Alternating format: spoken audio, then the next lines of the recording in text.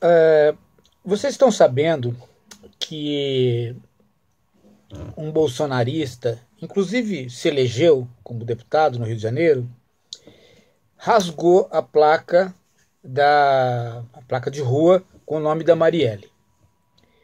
Pois bem, ele achou que ia ficar por isso mesmo, né? Mas a reação foi enorme, a reação foi enorme. Ele foi muito bem votado e aí ele ficou achando que ele era o vencedor, que ele fazendo aquele ato de barbárie e de afronta aos direitos humanos, porque afinal de contas Marielle não é uma simples vereadora de um partido, né? Ela é um representante da luta de minorias por direitos humanos e ela é assassinada. Né? Não se descobre aí o autor, mas tudo indica que a participação da milícia. Aí esse rapaz, esse deputado, né, sem completo juízo, né, é, vai e rasga a placa. Né? Ele podia, inclusive, a partir disto, né, ser enquadrado como cúmplice, ser visto como suspeito. Bom, mas a, a, a reação é, foi enorme. Quer dizer, hoje houve uma distribuição de placas né, da, da, da Marielle, igual à original, e o Rio de Janeiro foi lotado de pessoas, uma multidão enorme segurando as placas e fazendo nova homenagem a Marielle.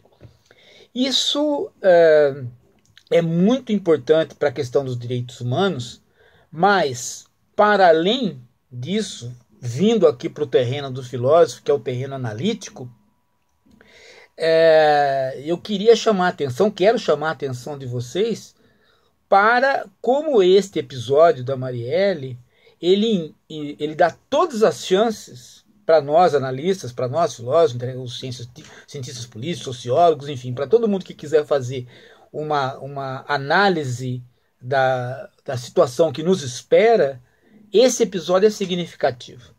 Porque esse episódio ele não é um episódio do momento. Ele não representa o momento ele dá uma indicação clara do que vai ser o futuro do Brasil, o futuro próximo do Brasil. Se o Bolsonaro ganhar essas eleições, e tudo indica que ele vai ganhar, e esse movimento já é uma indicação disso, é, nós vamos assistir o que no ano que vem? Nós vamos assistir, ao invés da derrota das forças de, de, de centro e de esquerda, uma vigorosa oposição ao Bolsonaro se ele tomar atitudes antipopulares. E este episódio da Marielle é significativo. Porque todo mundo está cuidando da sua própria campanha. Né? E todo mundo está, e o, de certo modo, né, uh, esses temas espinhosos não são bons para a campanha no momento. No momento interessante para os dois candidatos é ele se achegar é, a temas próximos um do outro, para ganhar eleitor um do outro. A divisão agora, você pode ver, o discurso do Bolsonaro já transitou um pouco mais para o centro. O discurso do Haddad também. Né?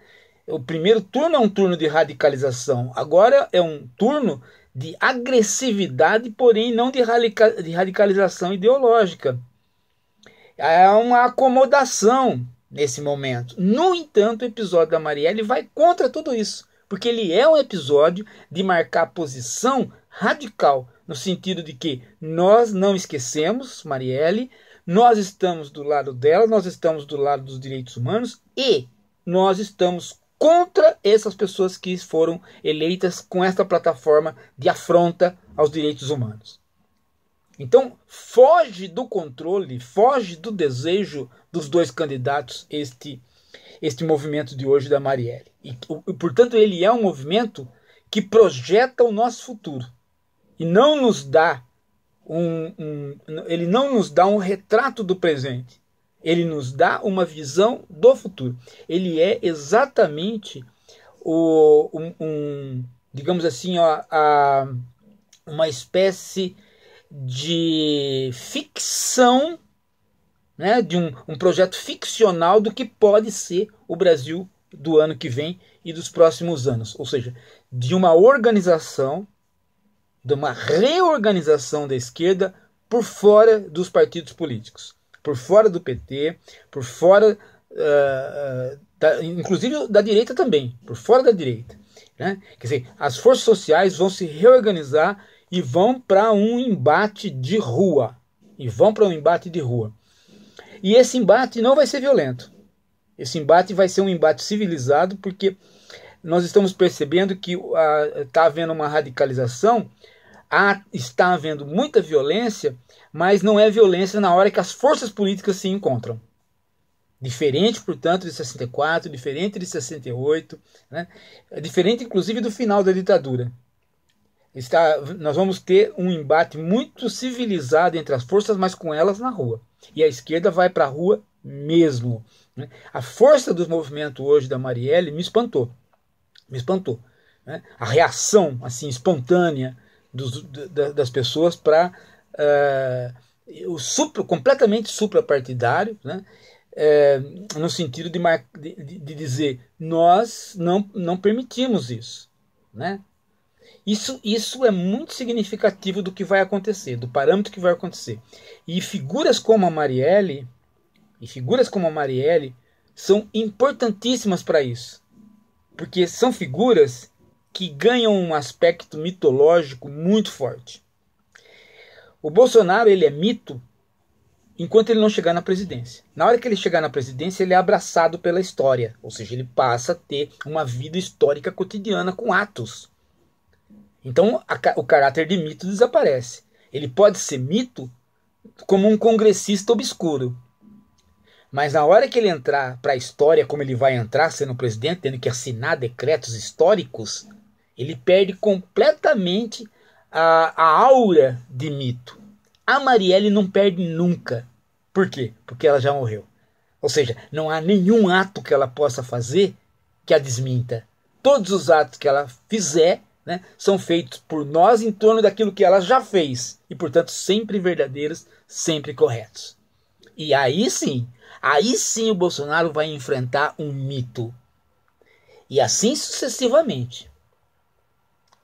Se ele, uh, quanto, quanto menos você participa da história e quanto mais a sua aura cresce como alguém que não participa da história, mas marcou uma bandeira, fez uma bandeira, mais você se torna um mito mais você se torna um mito.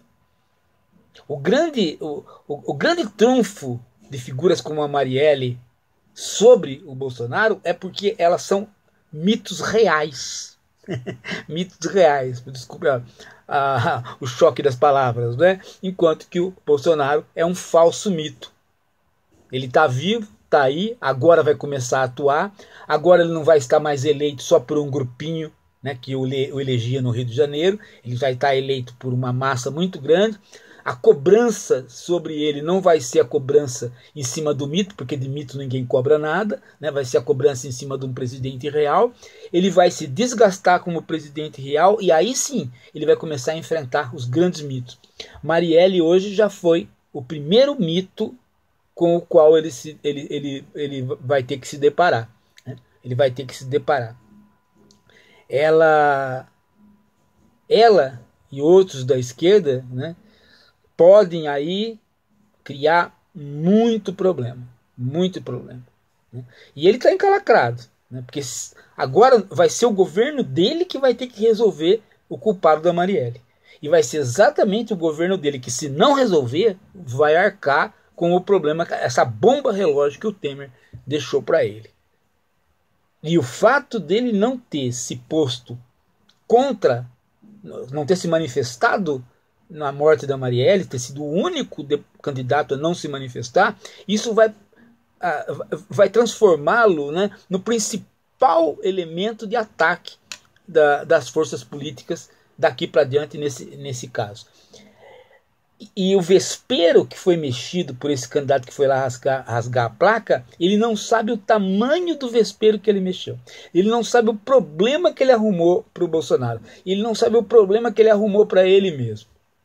Ele não faz ideia do que é mexer com o mito.